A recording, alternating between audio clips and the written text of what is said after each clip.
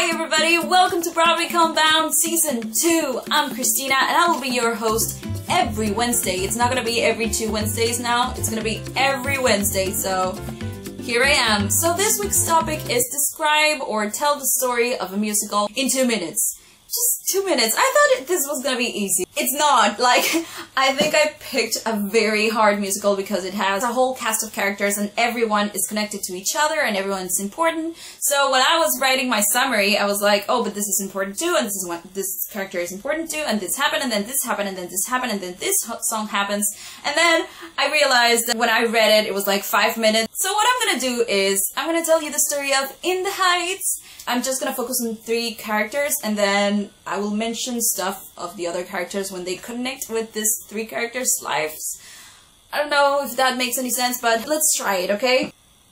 So in the Heights, it's about this Latin community living in Washington Heights that they call the barrio. And our main characters, in my opinion, are Usnavi and Nina. Usnavi wants to go to, back to the uh, the DR, and Nina just dropped out of college, and she doesn't know what to do with her life, and she doesn't know how to tell her parents that she dropped out. When she finally does, her father is devastated, and he feels useless, and the only thing that he thinks he can do is sell the taxi company, taxi service company that he has, where Benny works. But Benny is Nina's love interest and they have feelings for each other. And when Benny her when Benny hears that uh, Kevin, her father, is selling the company, he blames Nina and they have a fight. Also, we have Usnavi and he lives with Abuela, uh, Abuela Claudia, who's not really his abuela. And in the bodega, he sells lottery tickets, and he learns that he sell that he sold a lottery ticket worth of twenty of ninety six thousand dollars.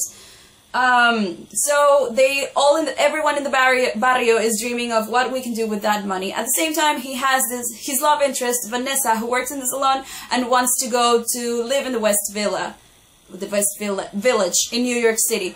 They go on a date, and in this date, in this club, shut up! In this club, uh, Benny and Nina have a fight, and the whole party ends when the lights, when the electricity goes down and oh my god, it's 30 seconds. Oh my god. So at the end, like of the first act, Nina and Benny finally kiss and they spend the night together and Usnavi learns that Abuela Claudia won the lottery and they plan to use that money to go back to the Dominican Republic. So in the second act, they have this huge party called Carnaval de Barrio and after the party, they learn that Abuela Claudia died and when they, uh, and Nina are arranging her stuff, she sees some pictures of of her graduation and she decides to take the money of the taxi company that her father sold and she goes back to college or she decides to go back to college. Oh my god. Epic fail. And I don't think that that made any sense. But anyway, at the end, uh, after she sees the pictures, she decides to the pictures. She decides to go back to college, even though she doesn't know what's gonna happen with Benny. And also, Navi decides to go back to the Dominican Republic until one morning or the next morning when he discovers that Sonny, his cousin, commissioned a graffiti guy, or graffiti Pete, to make a mural of Abuela Claudia and when he finally sees that he decides he's gonna stay and he decides that he's gonna pursue uh, Vanessa. And that's it. Oh my god that was harder than I thought but I'm not gonna do it again because I've tried like six times already and this one is like the closest I got to the to the time Two minutes is not enough. I know you said that it was part of the fun. No, no, it's not part of the fun. Anyway, if you liked the video, don't forget to give it a thumbs up if you liked it, unsubscribe or subscribe depending on where you're watching this.